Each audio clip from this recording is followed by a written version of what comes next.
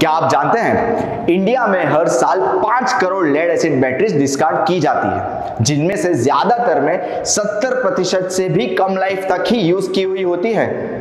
इस वीडियो में हम बात करेंगे कि लेड एसिड बैटरीज को मेंटेन करने के लिए या उनकी लाइफ एक्सपेक्टेंसी को प्रोलॉन्ग करने के लिए क्या करना चाहिए। सबसे पहले बैटरी टर्मिनल्स को साफ़ रखना बहुत ज़रूरी है।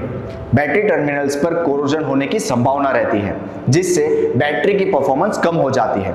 आप एक टर्मिनल क्लीनर का इस्तेमाल करके इसे साफ़ रख सकते हैं। दूसरी बात, बैटरी का वाटर लेवल चेक करते रहिए। बैटरी में डिस्टिल वाटर का इस्तेमाल होता है। अगर आप डिस्टिल वाटर का लेवल रेगुलरली चेक करते रहेंगे तो बैटरी को मेंटेन करना आसान होगा। बैटरी की लाइफ प्रोलॉन्ग करने के लिए उसे रेगुलरली चार्ज करते रहिए। अगर बैटरी का चार्ज 50 प्रतिशत से कम हो जाता है तो उसे चार्ज करना बहुत ज़रूरी है। बैटरी की लाइफ को लंबा चलाने के लिए एक बहुत इंपॉर्टेंट पॉइंट यह है कि बैटरी को कभी ओवर चार्ज ना करें। इससे बैटरी की लाइफ कम हो जाती है। उसी तरह, बैटरी को कभी ओवर डिस्चार्ज भी ना करें, क्योंकि उससे भी बैटरी की लाइफ कम हो जाती है। अब भी इस वीडियो को सेव कर ले या अपने बैटरी प्रोवाइडर या इलेक्ट्रिकल इंचार्ज को फॉरवर्ड कर दे।